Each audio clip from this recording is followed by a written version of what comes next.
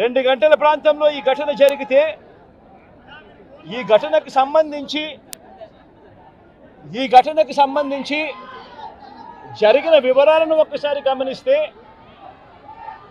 ఈ ఘటనలో ప్రభుత్వం స్పందించకూడదు. అన్న తాపత్రయము ఎక్కువగా కనిపిస్తూ ఉంది. ప్రభుత్వం పదిహేడు మంది చనిపోతే ఈ ప్రభుత్వం మొట్టమొదటగా సాయంత్రం నాలుగు గంటలకు హోం హోంమంత్రి వచ్చి ప్రెస్ మీట్ను అడ్రస్ చేస్తూ తాను మాట్లాడినప్పుడు కూడా సహాయానికి సంబంధించి పర్యవేక్షించడానికి తాను అనకాపల్లికి వెళ్తున్నాను అన్న మాటలు వాళ్ళ నోట్లో నుంచి రాలేదు. మరో గంట తర్వాత అంటే సాయంత్రం ఐదు గంటల ఆ ప్రాంతంలో కార్మిక శాఖ మంత్రి ఎవరి పరిధిలోకి వస్తుందో ఈ డైరెక్టర్ ఆఫ్ ఫ్యాక్టరీస్ అనేది ఎవరి పరిధిలోకి వస్తుందో ఈ కార్మిక శాఖ మంత్రి కూడా ప్రెస్ మీట్ పెట్టి ఎంతమంది చనిపోయారో తెలియలేదు అన్నాడు. వివరాలు లేవు అని మాట్లాడతాడు. తాను కూడా హుటాహుటిన అక్కడికి వెళ్ళాలి అనే తాపత్రయం కూడా చూపించడు. ఘటన జరిగితే ఘటన జరిగిన తర్వాత ఘటన స్థలానికి కలెక్టర్ ఎప్పుడు పోయాడు? అధికారులు ఎప్పుడు పోయాడు? పోయారు. కమిషనర్ ఎప్పుడు పోయారు? అన్నది ఒక్కసారి గమనిస్తే ఇంకా బాధ కలిగించే అంశాలు. అధికార పార్టీకి సంబంధించిన నాయకులు ఎప్పుడు పోయారు అని చూస్తే ఇంకా బాధ కలిగించే అంశాలు. కనీసం ఘటన జరిగితే కనీసం అంబులెన్స్ను కూడా కనీసం మొబిలైజ్ చేసి ఆ ప్రాంతానికి తీసుకుని రాని పరిస్థితి. బాధితులు ఎవరైతే ఉన్నారో వాళ్ళందరినీ కూడా కంపెనీకి సంబంధించిన బస్సుల్లో తీసుకొస్తా ఉన్నారు హాస్పిటల్లోకి తీసుకొని పోయే పరిస్థితి. నేను ఒకసారి తేడా గమనించమని అడుగుతా ఉన్నా. ఇలాంటి ఘటనే ఒకసారి మా ప్రభుత్వ హయాంలో కూడా జరిగింది. ఎల్జీ పాలిమర్స్ అనే ఘటన జరిగింది. కోవిడ్ మహమ్మారి ఉన్న సమయం అది. మే మేలో జరిగింది. మే రెండు వేల ఇరవై ప్రాంతంలో జరిగింది. ఒకవైపున కోవిడ్ మహమ్మారి ఉంది. ఉన్నప్పటికీ కూడా ప్రభుత్వం ఎలా పలికింది ఎలా స్పందించింది అని ఒకసారి కంపారిజన్ చేయాలి. ఆ ఘటన ఆ ఘటన తెల్లవారుజామున రాత్రి మూడు గంటల మూడు గంటల నలభై నిమిషాలకు తెల్లవారుజామున మూడు నలభైకి ఆ ఘటన జరిగితే తెల్లవారుజామున మూడు నలభైకి ఆ ఘటన జరిగింది. పొగ పట్టపగలు కాదు. జరిగితే ఐదు గంటల కల్లా కలెక్టర్ స్పాట్లోకి వెళ్ళాడు. కమిషనర్ స్పాట్లోకి వెళ్ళాడు.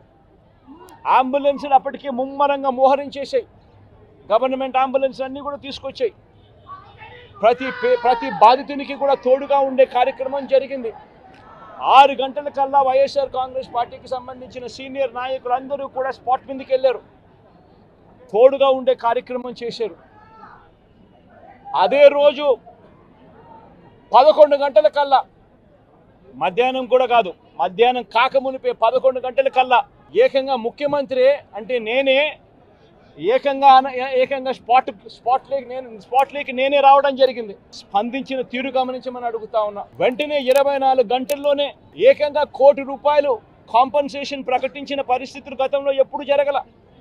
ఇట్లాంటి ఘటనలు జరిగినప్పుడు గవర్నమెంట్ ఎప్పుడు కూడా రెస్పాన్సిబిలిటీ తీసుకొని గవర్నమెంట్ ఎప్పుడు కూడా బాధితుల పట్ల సానుభూతితో ఎప్పుడూ వ్యవహరించలా. ఇంతగా వ్యవహరించిన పరిస్థితులు ఎప్పుడూ లేవు. మొట్టమొదటిసారిగా కోటి రూపాయలు కాంపన్సేషన్ ఇచ్చిన ఏకైక ప్రభుత్వం మొట్టమొదటగా వైఎస్ఆర్సీపీ ప్రభుత్వమే.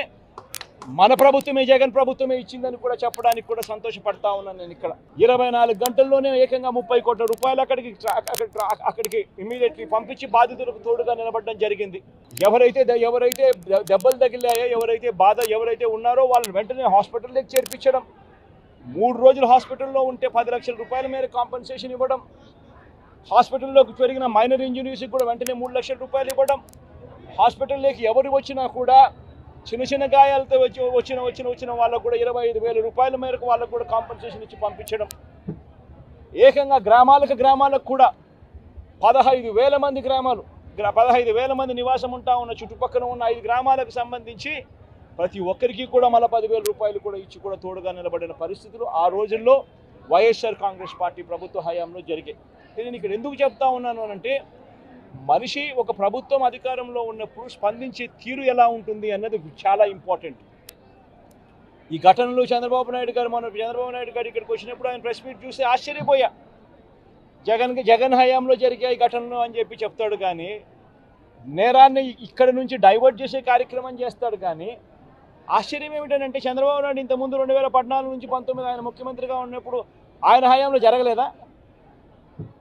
ఈ ఘటనలు ఇటువంటివన్నీ ఎవరి హయాంలో అయినా కూడా జరుగుతాయి. కానీ జరిగినప్పుడు ఒక ప్రభుత్వం ఎలా స్పందిస్తూ ఉంది అన్నది మోస్ట్ ఇంపార్టెంట్ ఆస్పెక్ట్.